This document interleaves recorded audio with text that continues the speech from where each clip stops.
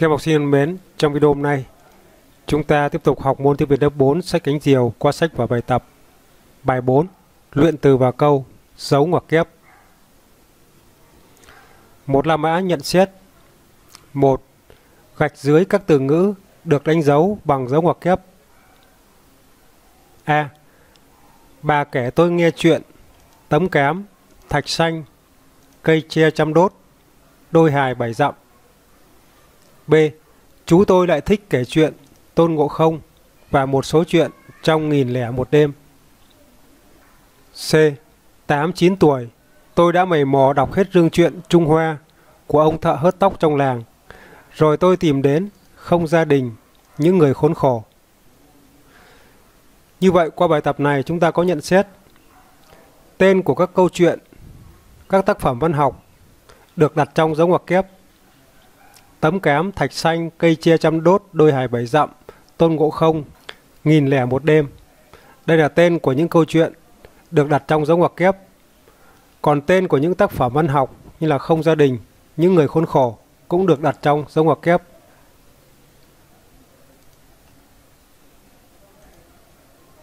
Bài tập số 2 Các dấu ngoặc kép trong bài đọc được dùng làm gì? Đánh dấu trách và ô vuông trước y đúng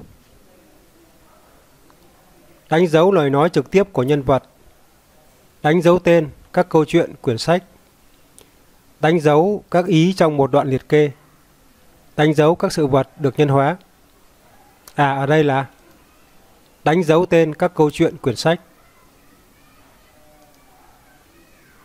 Như vậy, dấu ngoặc kép dùng để đánh dấu tên tác phẩm, bài văn, bài thơ, quyển sách, và kịch, bộ phim, bức tranh, bức tượng, vân vân.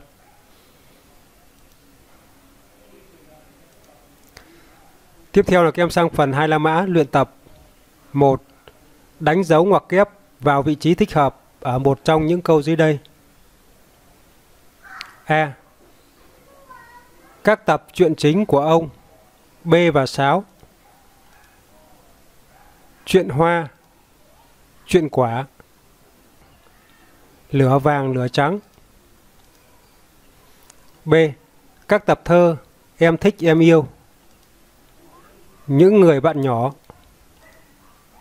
bạn trong vườn C.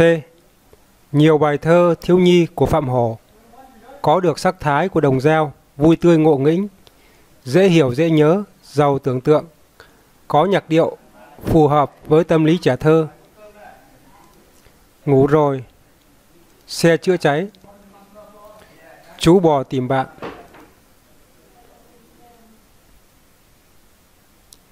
Rồi như vậy là trong bài tập này, chúng ta dùng dấu ngoặc kép để đánh dấu tên của các tập truyện, tên của các tập thơ và tên của các bài thơ. Bài 2.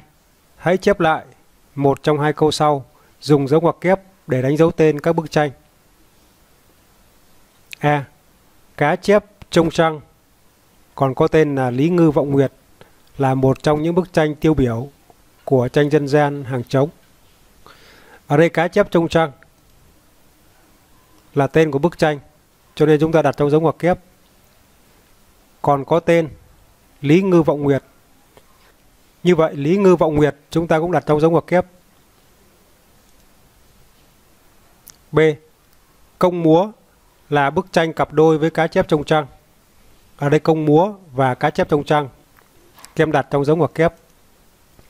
Rồi như vậy là bài học hôm nay đây là kết thúc. Xin chào và hẹn gặp lại các em trong các video tiếp theo.